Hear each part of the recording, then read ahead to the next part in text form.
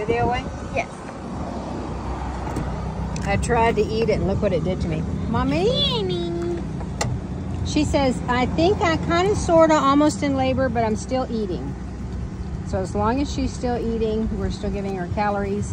And doctor sent us home. We are not having puppies via C-section today. Oh. They love ice cream. So we are having puppies.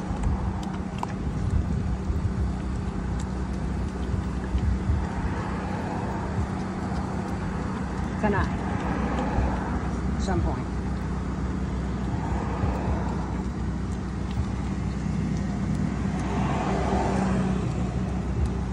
That ice cream was really good. I had one bite before I got me.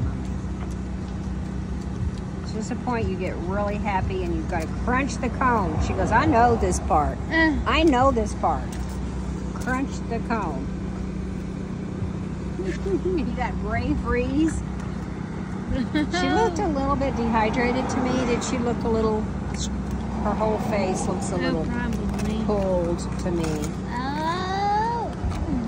All right. Good job, Vinny. I'll see you in the morning on the surgery table.